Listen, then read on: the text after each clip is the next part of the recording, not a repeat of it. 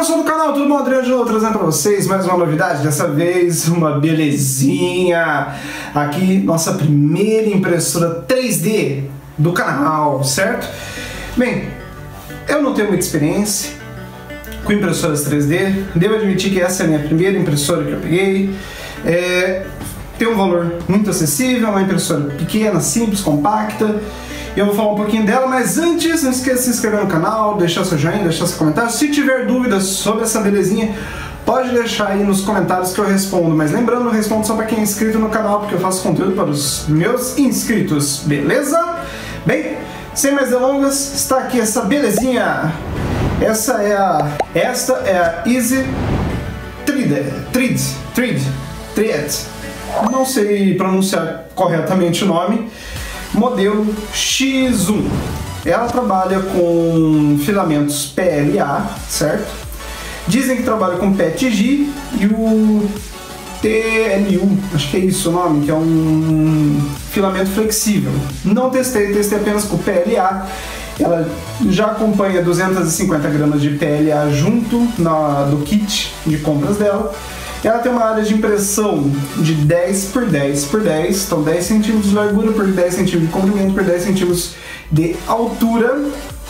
Não possui é, visor LCD, possui apenas quatro botõezinhos, ó, quatro botõezinhos logo nessa central de controle. A home, que é para você calibrar a mesa menos para você tirar o filamento, né? Retrair o filamento, mais para você jogar mais filamento no, no extrusora e play, que ela inicia a impressão, certo?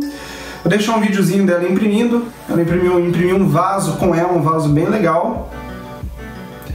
E ela é uma impressora muito simples. Você faz o, os arquivos, né? você pega um, um arquivo STL na internet, baixa ele, passa pelo software dela, e ele gera um arquivo G-Code que vai funcionar no pendrive. Ela tem uma entradinha de pendrive na lateral da, da central de comando, certo? Eu paguei 700 reais nessa belezinha. Vou deixar o link na descrição para quem quiser comprar ela. Ela veio ela e mais o kit que eu comprei veio mais um quilo e meio de filamento, que é um filamento PLA da 3DX. Certo, pessoal? Bem, é isso que eu tinha para mostrar para vocês. Vou mostrar aqui também o, o vaso, que está pronto.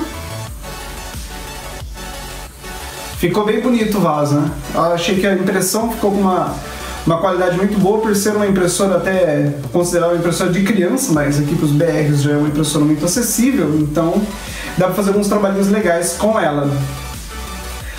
E vou ficando por aqui, pessoal.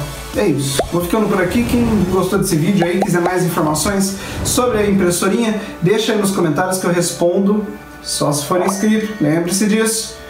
E vou ficando por aqui. Valeu, falou, fui e até a próxima.